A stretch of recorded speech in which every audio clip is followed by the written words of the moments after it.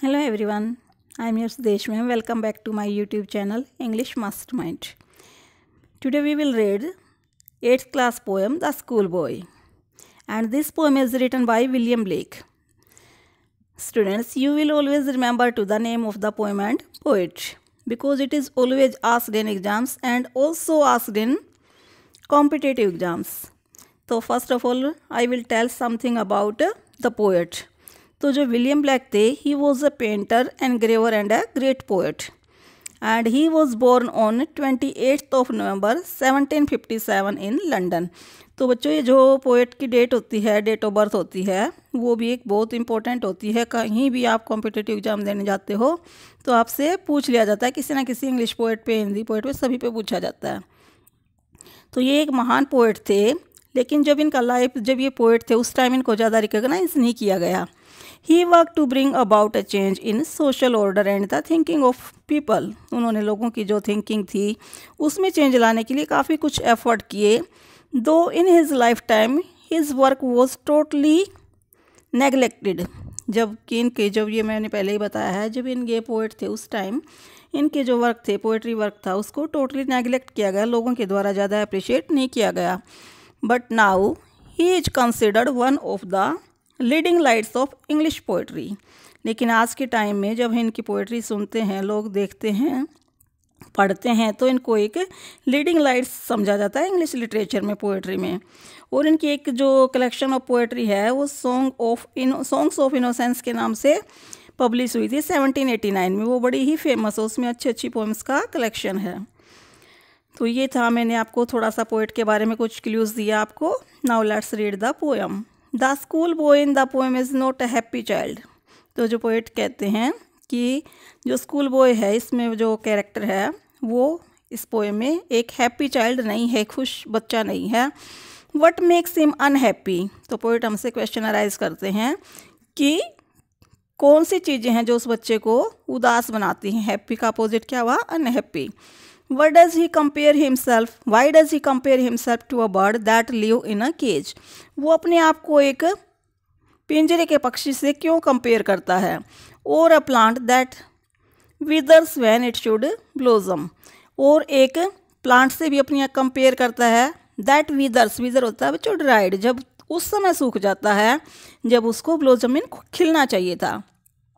तो जो यहाँ पे एक आपसे इन बिटवीन क्वेश्चन पूछा जा सकता है, ज़रूरी नहीं है कि पोएम से ही आपका पूछा जाए।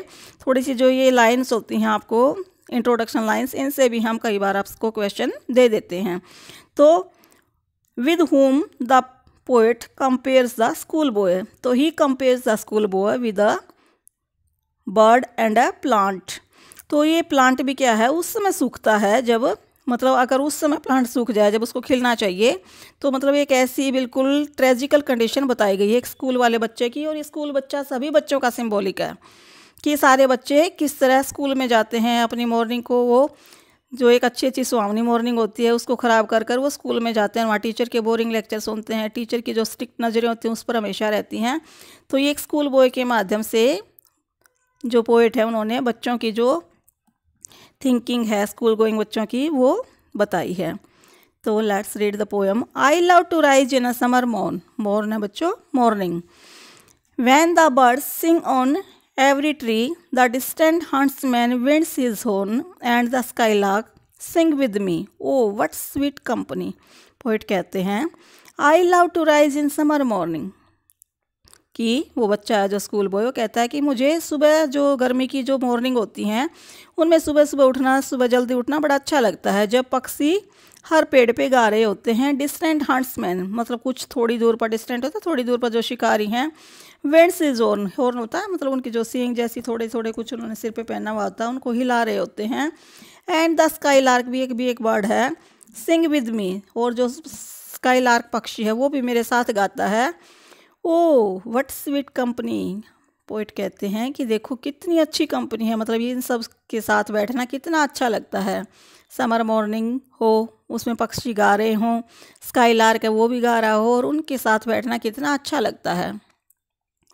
But to go to school in a summer morn O it drives all joy away लेकिन अगर ऐसी मॉर्निंग में, ऐसी अच्छी मॉर्निंग में स्कूल जाना पड़े ड्राइव जो होता है टेक्स अवे दूर ले जाती है। लेकिन तो ये स्कूल जाने की जो बात है, वो सारा जो है, जो खुशी है, उसको दूर कर देती है, सारी खुशी छीन लेती है। Under actual eye outworn the little one spend the day cruel eye यहाँ पे किसकी सिम्बोलिक है? टीचर की। वैसे तो टीचर क्रिवल थोड़े ही होते हैं, लेकिन उनकी जो एक स्ट्रिक्ट नज़र होती है, उनको डिसिप्लिन में रखने के लिए टीचर को भी थोड़ा सा स्ट्रिक्ट होना पड़ता है। तो पोइट कहते हैं कि उस बच्चे को जब टीचर की स्ट्रिक्ट ऑब्जर्वेशन का सामना करना पड़ता है द लिटल वंस तो छोटा सा जो बच्चा है सारे ही बच्चे स्पेंड द डे जिसके अंदर जो अपना दिन बिताते हैं in saying and dismiss saying होता है बच्चों आहा बना जैसे उह, ऐसे करते हैं मतलब ऐसे आहा भरते हैं डिसमें होता है उदासी। इस तरह आहें भरते हैं टीचर की स्ट्रिक्ट नज़रों के नीचे और वो उदास रहते हैं। आह that at time are droop I drooping sit and spend many an anxious hour. Nor in my book can I take delight, nor sit in learning's bower, worn through with the dreary shower. अब वो बच्चा कहता है and then at times I drooping drooping होता है बच्चा झुक कर बैठना और जो बच्चा है वो फिर सारा दिन झुक कर बैठा रहता है बेंच पर and spend many anxious hour में एनेक्सियस होता है बच्चों चिंतित वरीड आर काफ़ी सारे उसके घंटे हैं इस तरह चिंता में टेंशन में बीत जाते हैं nor in my book can I take delight delight होता है बच्चों प्लेजर खुशी। और किसी भी बुक में मुझे कोई खुशी नहीं मिलती। Nor sit in learning bars learning bars bower होता है बच्चों मतलब जो समूह बनाए जाते हैं सीखने के लिए। मतलब क्लास में बैठकर मुझे, ना तो मुझे किसी बुक में प्लेजर मिलती है और ना ही मुझे किसी भी लर्निंग मतलब सीख कर कुछ सीख कर मुझे खुशी मिलती है। Worn through worn through with the dreary dreary होता है बच्चों डल शावर होता है लेक्चर तो जब टीचर अपने डल मतलब बोरिंग लेक्चर देता है तो उनमें भी मुझे कोई खुशी नहीं मिलती है। मतलब मैं बोर होता रहता हूँ। How can the bird that is born for joy sit in the cage and sing अब जो बच्चा है वो क्वेश्चन पूछता अपने आप से ही कि एक पक्षी that is born for joy जो कि खुशी के लिए पैदा हुआ है sit in the cage and sing अगर उसको पिंजरे में बैठा दिया जाए और गाने के लिए कहा जाए तो कैसे गा सकता है? How can a child when fears annoy but droop his tender wing and forget his youthful spring और उसी तरह एक बच्चा, जैसे पिंजरे में पक्षी को कैद कर दिया जाता है और फिर उसको गाने को कहा जाए तो कैसे गा सकता है? वैसे ही एक बच्चा वैन फियर्स अनोए जब वो डरता है अनोए मतलब चिढ़ता है स्कूल जाने से चिढ़ता है, और डर है उसके अंदर स्कूल का ड्रूप हिज टेंडर विंग और उसकी जो सॉफ्ट सॉफ्ट जो पंख हैं, वो टूट जाती हैं पक्षी की तरह एंड फॉरगेट फॉरगेट और भूल जाता है हिज यूथफुल अपने मतलब बचपन वाले स्प्रिंग मतलब बसंत के जो बाहर के दिन हैं, एक पक्षी की तरह वो भी भूल जाता है जब वो स्कूल जाता है। O father and mother if birds at the blossom blossoms blown away and if the tender plants are stripped of their joy in the springing day by sorrow and care dismay आप poet अपने parents को बोलता है और कहता है कि वो पेरेंट्स ई बर्ड्स आर निप्ड। निप्ड होता है, बच्चों कट दी, कट कर दी जाए डेस्ट्रॉय कर दी जाए। ये जो पंखुड़ियाँ हैं, बर्ड्स हैं, उनको पहले से, खिलने से पहले ही डेस्ट्रॉय कर दिया जाए। एंड ब्लोजम्स ब्लोन अवे और उनका जो जो भी फल फूल उन पर आए हुए हैं, उनको उनसे छीन लिया जाए। Tender plants are stripped. Tender होता है छोटे छोटे सॉफ्ट जो प्लांट्स हैं, उनको पहले से स्ट्रिप्ड भी डेस्ट्रॉय उनको भी पहले से कट कर दिया जाए डेस्ट्रॉय कर दिया जाए of there joy in springing day बसंत के दिन में जब वो फूल, फल खिलते हैं नए नए प्लांट्स उगते हैं, यदि उन दिनों में उनको डेस्ट्रॉय कर दिया जाए by sorrow and care dish में किसके द्वारा?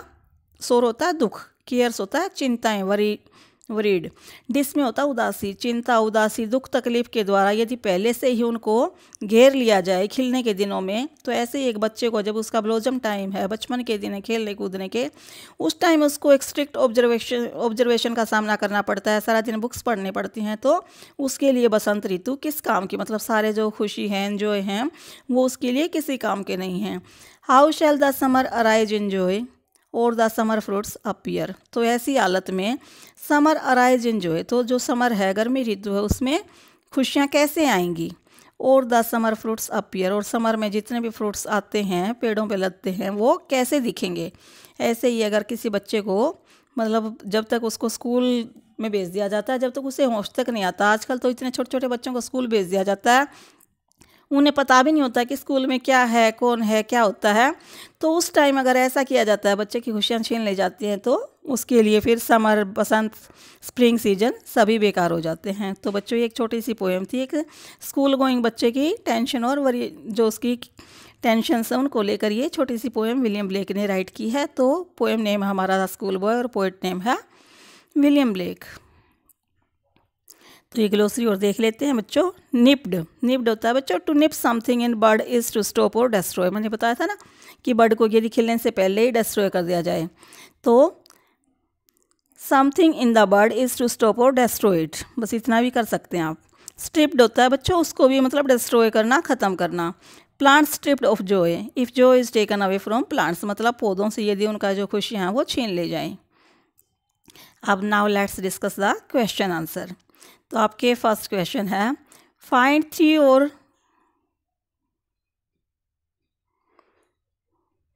four words phrases in stanza one that reflect the child's happiness and joy आपको जो फाइंड थ्री और फोर वर्ड्स और फ्रेजेज कोई भी आप फ़र्स्ट एंजा से बता सकते हो जो बच्चे की हैप्पीनेस को शो करते हैं। तो आंसर है the phrases that reflect the child joy and happiness are love to rise in summer morn एक तो ये है कि समर मॉर्निंग में उसको जो फ़र्स्ट लाइन थी हमारी वही। अच्छा लगता है, bird sing on every tree. एक पक्षी गाते हैं तो उसको उनसे भी, उनको भी वो लाइक करता है। The sky lark sings with me and the sweet company. तो ये थ्री और फोर फ्रेजेज हैं आपके, जो बच्चे की, जो प्लेजर की, जो फीलिंग्स हैं उनको एक्सप्रेस करते हैं। सेकंड क्वेश्चन है in stanza two the mood change stanza two में आपका जो है but to go to school वो वाला उसका मूड एकदम से चेंज हो जाता है। तो कौन से वर्ड्स और फ्रेजेज हैं जो उसके बदले हुए इस मूड को एक्सप्रेस करते हैं? आंसर है the phrases that reflect the change mood are it drives all joy away जो उसकी सेकंड लाइन है सेकंड स्टेंजा की आपकी वो इस एक्सप्रेशन को शो करती है। And spend the day in sighing and dismay और ये जो इसकी फिर जो लास्ट लाइन है, वो भी इसी एक्सप्रेशन को शो करती है। कि सारी खुशियाँ छिन जाती हैं, जैसे स्कूल का नाम आता है और पूरा दिन उसको आहा भरकर और उदासी के साथ बिताना पड़ता है। Third a cruel eye outworn stanza two refers to stanza जो ये आपकी लाइन आती है कि क्रिवल आई आउटबोर्न ये किसकी सिम्बोलिक है? The classroom which is shabby and noisy that lesson which are difficult and uninteresting the dull and uninspiring life at school with loads of work and no play. तो ये क्या दिखाता है जो आपका है? ये क्या दिखाता है? तो ये आपकी जो थर्ड है द डल अनइंस्पायरिंग लाइक मतलब एक बोरिंग और बिल्कुल कोई भी अनइंस्पायरिंग होता है जिसमें कोई मोटिवेशन ना मिले, कोई भी प्रेरणा नहीं मिलती। ऐसी लाइफ स्कूल में with loads of work and no play जिसमें बहुत सारा वर्क होता है कोई खेलने के लिए कोई समय नहीं होता। तो ये लाइफ आपकी ये लाइन शो करती है। फोर है nor sit in learning bowers worn through with the dreary shower which of the following is a close paraphrase of the lines above इनमें से कौन सी लाइन है जो ऊपर वाली लाइन को सही से एक्सप्लेन करती है? तो ये आपका फ़र्स्ट है। Nor can I sit in roofless classroom when it is raining second है nor can I learn anything at school though teachers go on lecturing and explaining मतलब मैं कुछ सीख नहीं पाता जब मैं स्कूल में बैठा होता हूँ। यद्यपि जो टीचर है वो लेक्चर पे लेक्चर दिए रहते हैं और एक्सप्लेन करते रहते हैं। Nor can I sit in school garden for fear of getting wet in the rain या फिर मैं स्कूल के गार्डन में इसलिए नहीं बैठ पाता कि मुझे भीगने का डर लगता है। तो बच्चे के अकॉर्डिंग जो इसमें वो कहना चाहता है वो क्या है कि, कि मैं कुछ भी नहीं सीख पाता चाहे भले ही टीचर हैं वो लेक्चर देते रहें कितना ही एक्सप्लेन कर ले लेकिन मुझे कुछ भी समझ नहीं आता। नेक्स्ट टाइम यही थे बच्चों आपके क्वेश्चन आंसर तो आपको ये पोएम और इसकी एक्सप्लेनेशन कैसी लगी? यदि अच्छी लगी तो प्लीज़ लाइक करें शेयर करें और यदि आप चाहते हैं कि आने वाली हर वीडियोस की नोटिफिकेशन आपको मिले तो प्लीज़ मेरे चैनल को सब्सक्राइब करें। Thanks for watching my videos